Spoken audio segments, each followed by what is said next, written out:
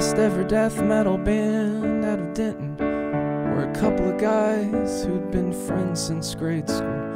One was named Cyrus, the other was Jeff, and they'd practice twice a week in Jeff's bedroom. The best ever death metal band out of Denton never settled on a name. But the top three contenders after weeks of debate were Satan's Fingers and the Killers and the Hospital Bombers.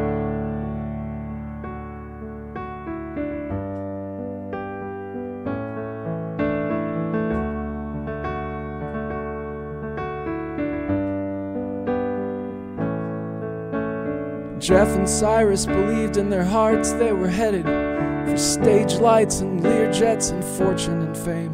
So, in scripts that made prominent use of a pentagram, they stenciled their drum heads and guitars with their names.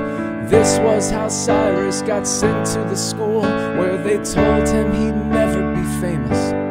And this was why Jeff, in the letters he'd write to his friend, helped develop a plan to get even. When you punish a person for dreaming his dream, don't expect him to thank or forgive you.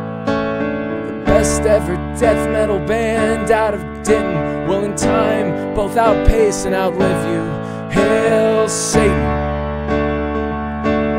Hail Satan!